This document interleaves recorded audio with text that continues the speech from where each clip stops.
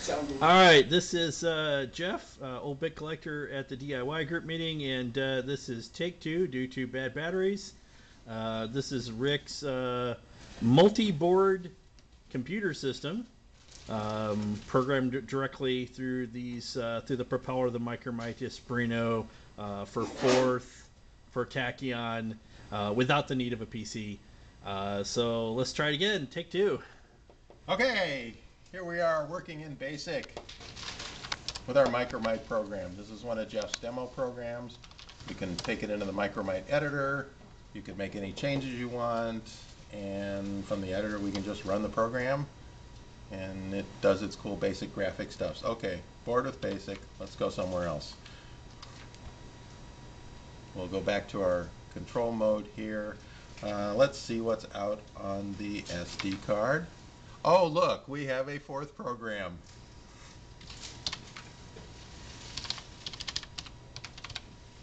So we can load the Forth program into the Micromite's editor because it really doesn't care what you load in there because it's not going to run it. So we have a basic Forth program. And we can exit the editor. And if we had made changes, right now it's sitting in the Micromite's editor and memory space, but we want to save it to the SD card. So we can do hello 3 dot. And the propeller now is via X modem asking the Micromite to send the program down to it and it's putting it out on the SD card. So we can see again that there's the, the new Forth program, hello 3 dot Forth.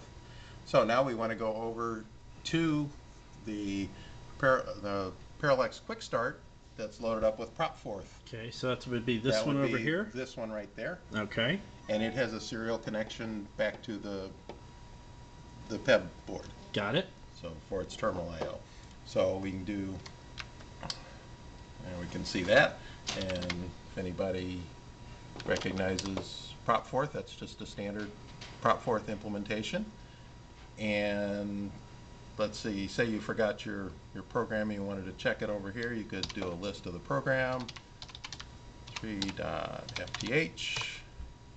So, okay, it looks like it's still good, that's what we want to do. Uh, we were playing before, so there's already a, a hello out there, so we'll get rid of it.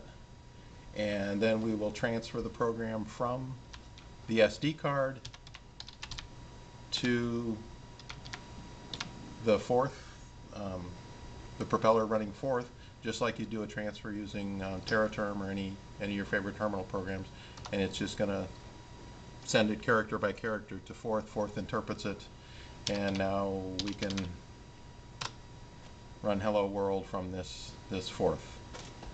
So, okay, we see we can go to a tachyon system. I don't have a, a program, example program for tachyon, but it would basically be a Forth program, but you can see. So that would be This this, is quick the start quick over start here. here is loaded with um, Peter's tachyon.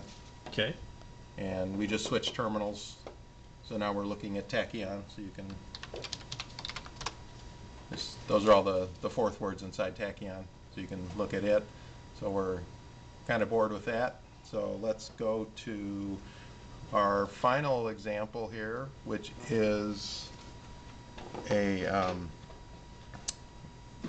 Olimex Wino, I guess it's pronounced, an STM32 card running Espruino. Okay. uh, in the, so we'll switch here with uh, F7. And sorry for the red on black, but the card's red, so it made sense at the time. Um, So now we're talking to an Espruino console.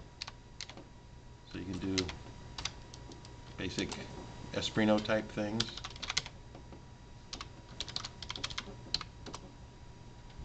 And um, let's see, I think we've got there's an Espruino program, toggle1.esp. Uh, I think I need to do a reset.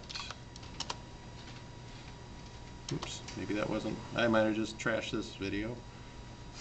So let's find the reset button.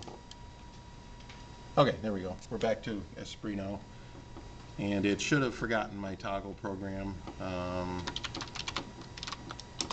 yeah, so it doesn't know the toggle function. So we want to put our toggle function back in.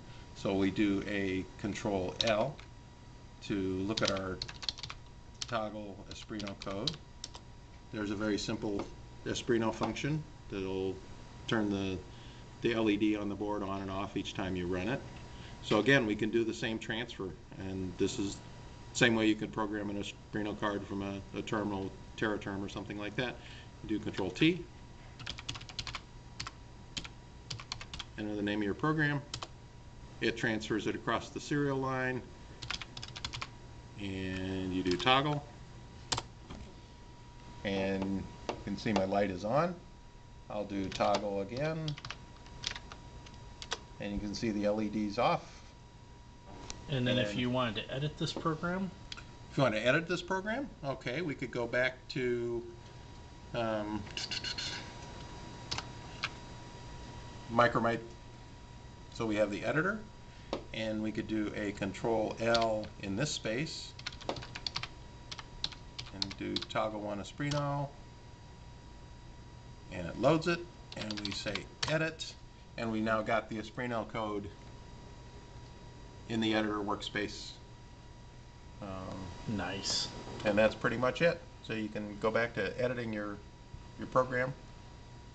I don't know what we could, we could call it toggle two, just so we can tell we did something different. Uh, we can exit out of the editor. We can do a control S to save it, call it T-O-G-G-L-E two dot ESP. And then we can flip back to our Espruino screen. And we can do Control T, T-O-G-G-L-E two dot ESP, and load that one. And now we've got a toggle two function, so we can do toggle. Very cool. Or toggle two, which is gonna turn it off. That is the way to program without any attachment to a PC, standalone, and pretty much lets you talk to any serial connectable target system. And you've got a VT100 terminal that can save files, edit files, and transfer files. Cool. Thanks for the demo. No problem.